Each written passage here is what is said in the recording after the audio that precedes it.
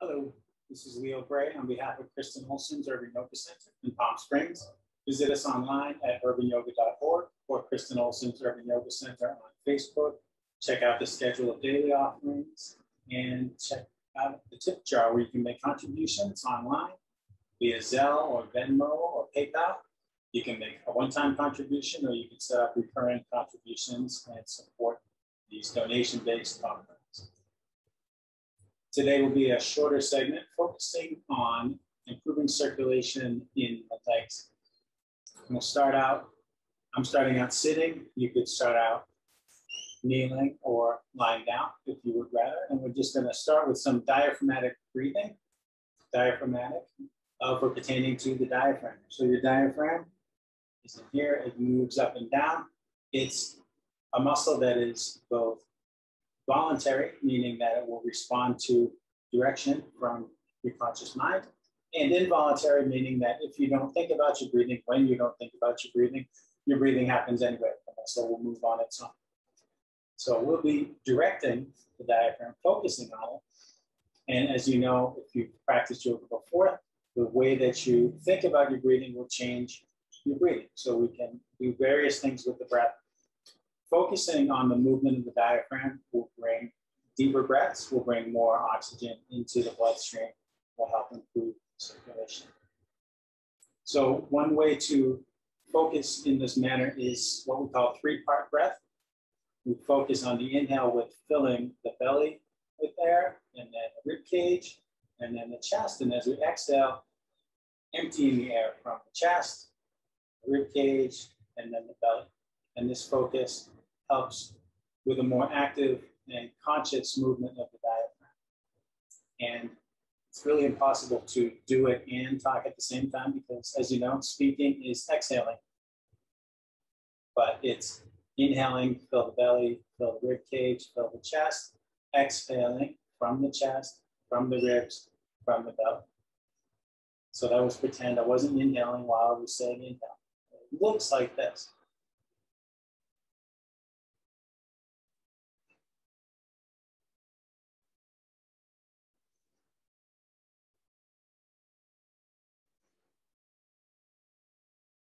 And you can say one, two, three, three, two, one. You can say belly, ribs, chest, chest, ribs, belly. Many people find it helpful to place their hands on their torso to feel the air entering and leaving those three regions. But just practice that for a minute, five minutes, 10 minutes. It's up to you. How long does it feel good? How long are you comfortable in the position you started in? Do you come to another position, get comfortable again, and then do some more? It also has other great effects that can be very common, like any directed breath can be, or many directed breaths can be. Some directed breaths we do, of course, are not calming, they're innervating and invigorating. And we do them for other, other goals, other aims. But it's inhale, two, three, exhale, chest, ribs, belly. Inhale, fill belly, Fill ribs, fill chest. Exhale from the chest, from the ribs, from the belly.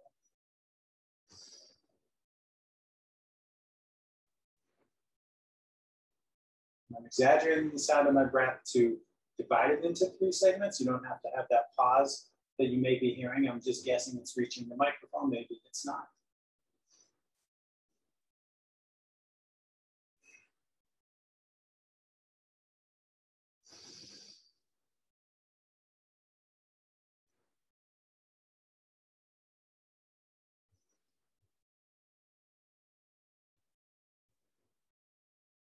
And incidentally, you can do whatever you like with your hands while you're sitting in whatever position is comfortable to you. Maybe your hands are at rest, maybe they're more actively grounded here or here, or they're receptive, or they're focused, or they're in touch with the movements.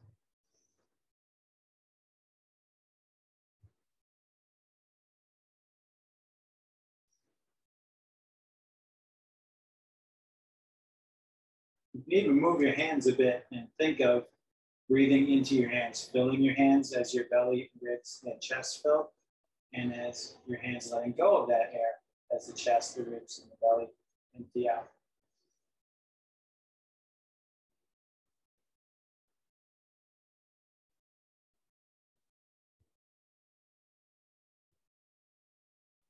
And you can try out different positions. Maybe you feel more into this movement in a different position. Maybe lying down works better for you.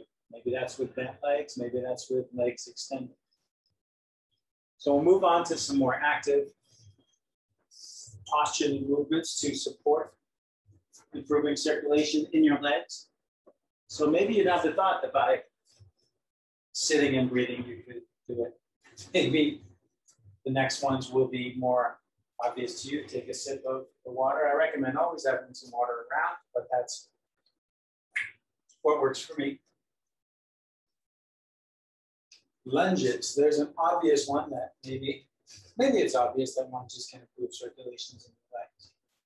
So lunge can look like this, a high lunge, or it can look like this with the back knee down. You can have the back toes uncurled.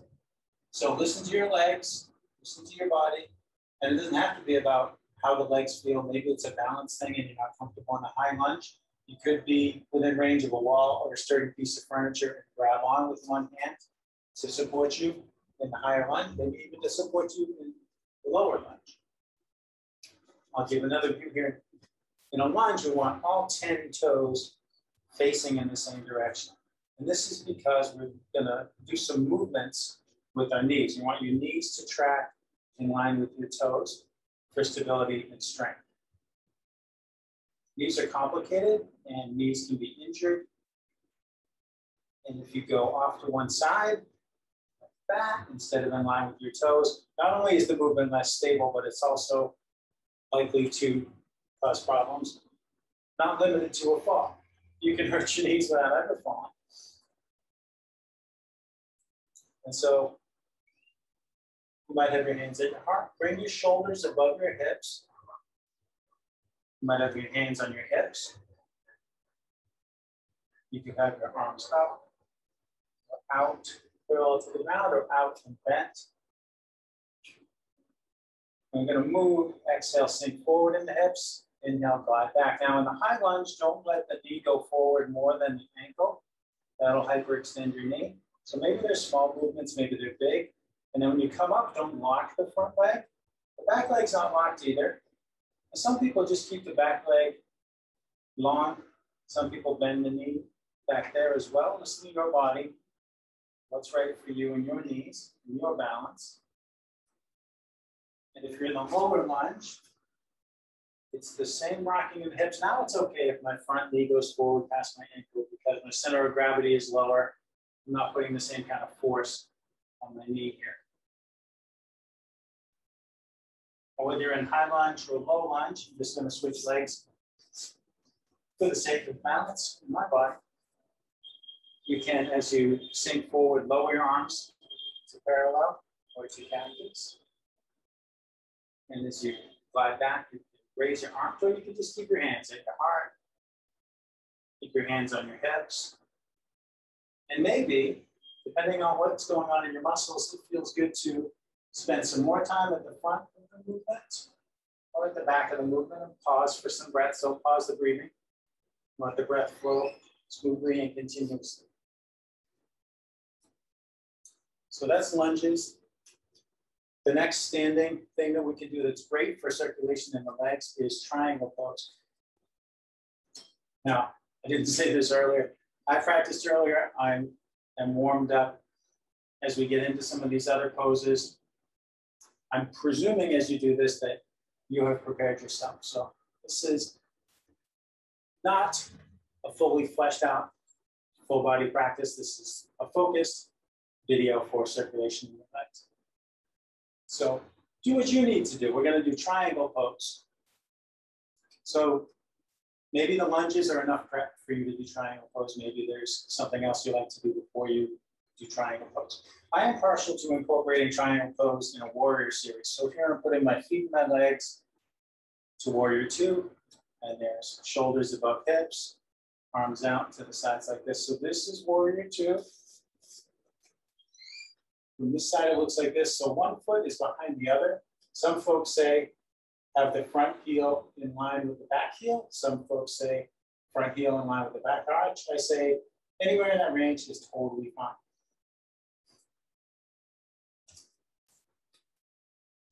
So to go from warrior two to triangle. Lengthen that bent leg. Now neither leg is locked, keeping a little bend in each knee to protect the knees.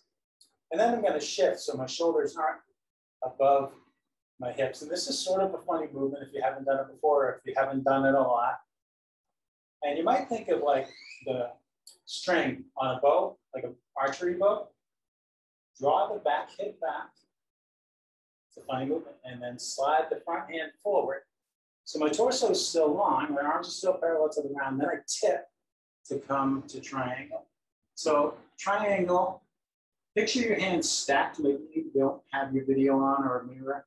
But imagine the top hand directly above the bottom hand. Now the bottom hand can hang there in the air. It can press to the leg, press to the front, press to the inside, press to the outside. Depending on where you're at with your triangle, maybe you touch the ground with your hand, maybe you put a block under your hand, and it could be fingertips on the block, hold the block in your hand, make a fist, put the block under your fist, I left the block over there. Just imagine there's a block. But this is great for circulation in the legs. This is also great for your breathing. This, this is a posture where your lungs are open way up. Excuse my hand going out of frame. And to come out of triangle pose nice and slowly, I like to bring this hip to this hip. In now, reach this hand forward like there's a rope there or something. And however you want to come out with the feet, just maybe small movements, slow movements, take your time. And do it on both sides. You don't have to do it from warrior two, that's just my preference. Draw, get the long legs, draw the back hip back, slide the front hand forward, tip, find your triangle.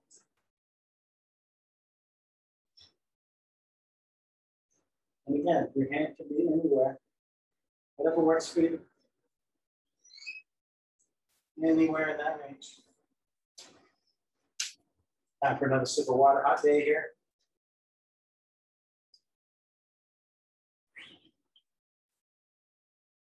Next standing pose, very active for the legs and great for circulation is chair pose.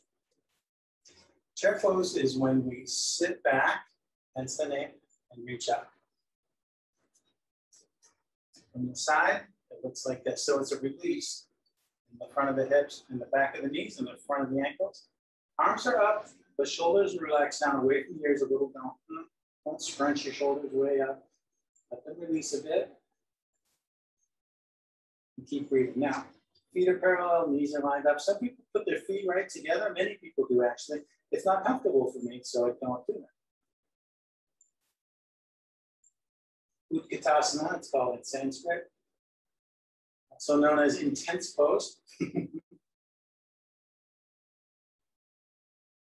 and maybe it looks easy. That comes with practice. The best thing I ever learned about chair pose, I'll share with you now. I got from an Alexander technique teacher, my friend Cecile Rayner in Boston.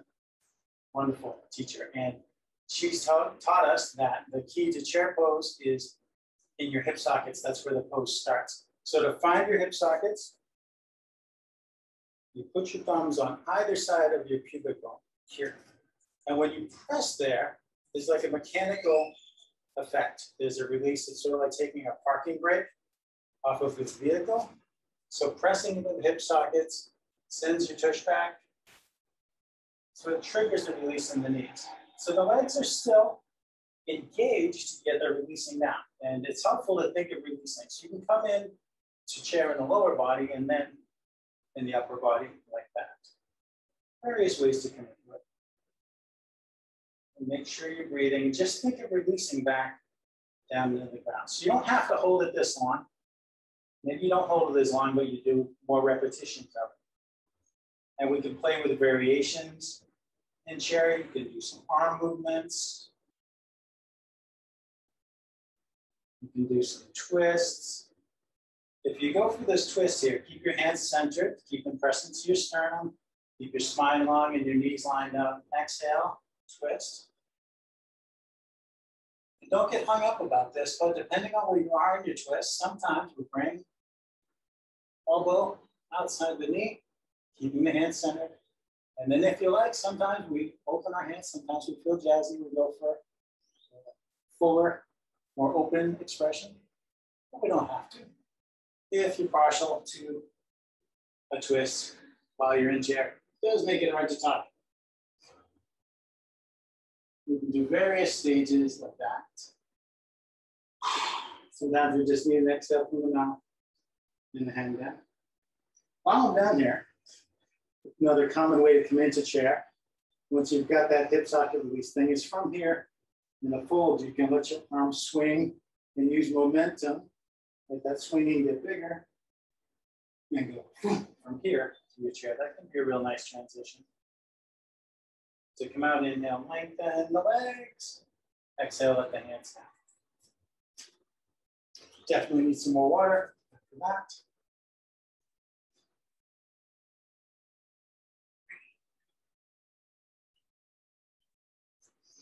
Okay, the next two, downward facing dog and pigeon. And I pair them like this because I like to come to pigeon from downward facing dog. So I'm just gonna go to my downward facing dog.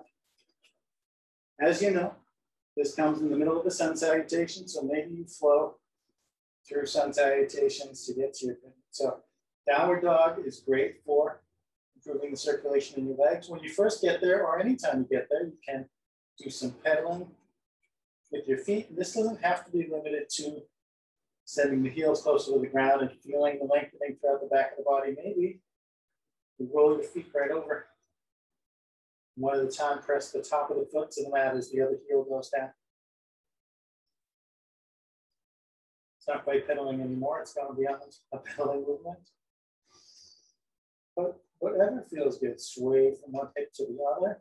No matter how you vary this, you are actively increasing circulation in your legs while you're in downward facing dog. So maybe you don't like long holds like this. Maybe you come out, maybe you take child's pose and come back up.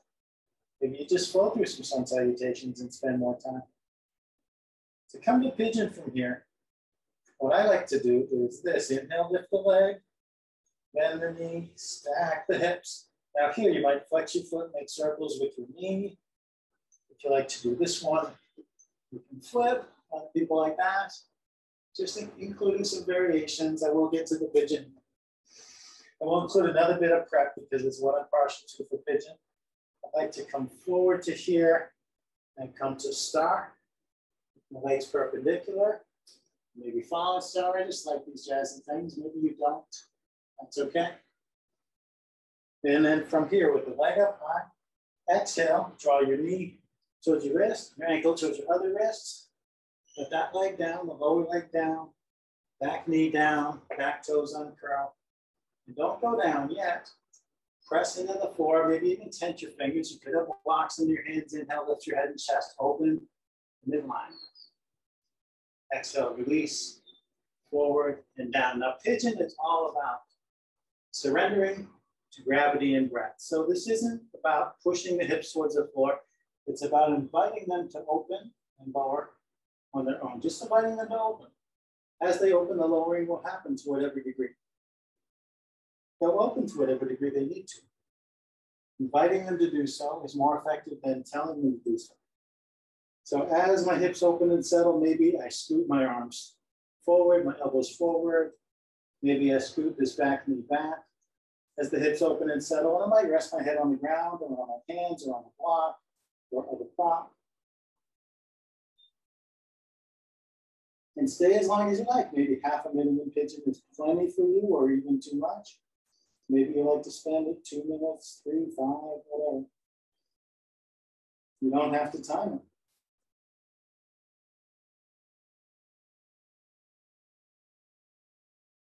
When you come out of your pigeon, usually I spend longer. but you don't need to watch me just laying there. If you like, you can explore a bind here after you get tall and long again. You could bend this back leg, you could reach back and take hold of foot or ankle. You could use this trap here around your foot. I like to use the opposite hand. Some people like to use that same hand on that side. It makes me very tippy. My body wants to tip over.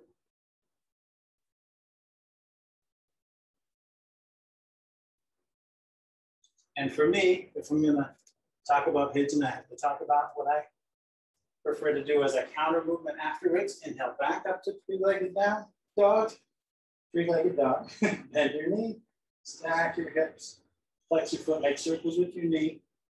Maybe you did that before. And why do we do that? Well, pigeon, for all the great benefits in the joint, temporarily compresses the femoral artery, biggest vessel bringing blood into that leg. Now, why, Leo, would you pinch your femoral artery if your goal is to improve circulation? It's because when I release from that posture, with that artery being temporarily closed off, and I do this counter movement and help speed the blood back into that big artery, it's more blood than normal. So the temporary restriction upon release, and especially with the counter movement, increases the circulation.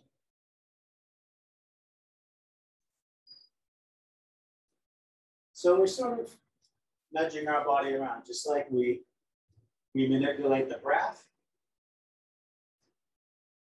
joints, muscles, and sure, circulation. We also manipulate our nervous system in various ways as we practice, right? Movements we do, positions we come to, breathing we do, even things, things we do with our mind. Your brain is the center of your nervous system It reaches all the other parts of it. And one more water break, I think. Just one more pose. So maybe you're ready to wrap up your practice. Maybe not. Maybe you want to repeat some of these things. Legs up the wall. We call this pose. I like to come and do it like this. Bring one hip right against the wall. Reach the hand out and back a bit. And it's it's a funny movement, but this is how, this is how I like to do it. You tip and spin at the same time. So you're moving on two axes. So lean back, legs go up the wall. You end up like this. And maybe your butt is on the wall, maybe it's not. That can be a matter of preference. It could be a matter of anatomy, flexibility, whatever. The goal is having the legs lifted up. Now, maybe in your space, you don't have that kind of access to the wall. Maybe you're not in a space with a wall, maybe you're outdoors. Instead of the wall, you could put your legs on a piece of furniture you can rest your legs on, a tree if you're outside or a picnic table, maybe a beach chair, maybe a rock. But this can be used, leg, legs up the wall or similar position can be used in place of Shavasana, corpse pose, traditional way to end practice with lying flat on the ground. You can get comfortable, close your eyes if you like, and just focus on your breathing or on an intention you set for yourself at the start of your practice.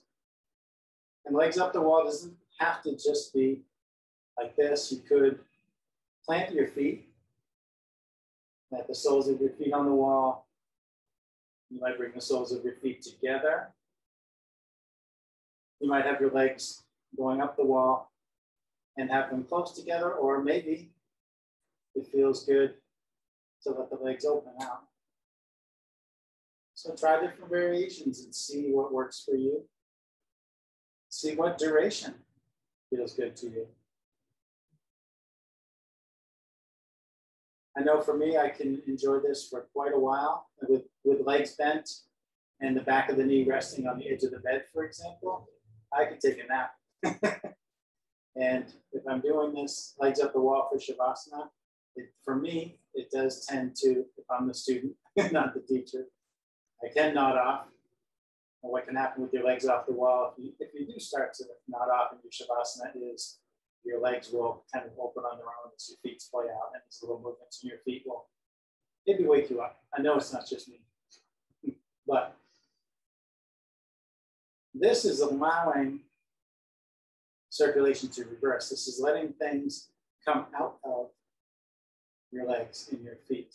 So all the time that we spend standing and sitting and walking, the effects of gravity, cumulative effects of gravity, things get stuck in legs and feet. So letting that stuff that's stuck flow back into the system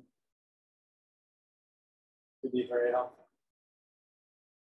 So sure, with my legs higher than my heart, for now, there is less blood flow to my legs. This is just a fact of gravity. But when they come out, because the stuff that was stuck has worked its way out, the circulation to the legs will be improved upon coming to horizontal, coming back to vertical, standing, sitting, walking. So to come out of legs up the wall, I'm partial to bending my legs and tipping the fetal position. You could keep your legs extended and tip. It's sort of, to me, more awkward. fetal position is one that we're, many of us are very accustomed to using as a transition from Shavasana to seated. We typically come back to sitting or kneeling at the end of practice if we're practicing with others. We come to this. Thank you for sharing this practice with me today. Light within me sees and honors that same light within you.